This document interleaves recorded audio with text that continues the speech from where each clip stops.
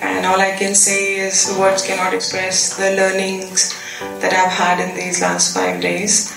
And uh, it was really, really necessary, and I must be very, very fortunate and blessed to be here. I will uh, always hope and pray that I get the strength to do justice to the opportunity that I have received. And uh, thank you, Rashhi ma'am, for everything. Hi everyone, my name is Pallavi and uh, I am here for Soul Consciousness Lab, uh, PLR hypnotherapy and PLR training.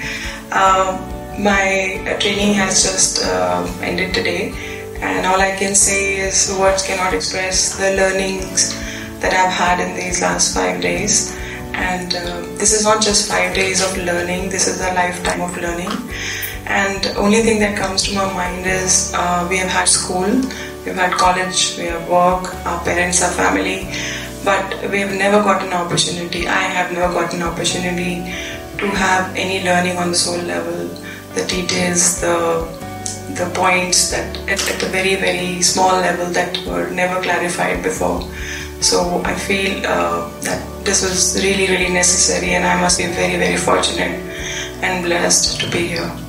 I will uh, always hope and pray that I get the strength to do justice to the opportunity that I have received. And uh, thank you, Rashhi ma'am, for everything, for every minute of yours. Thank you.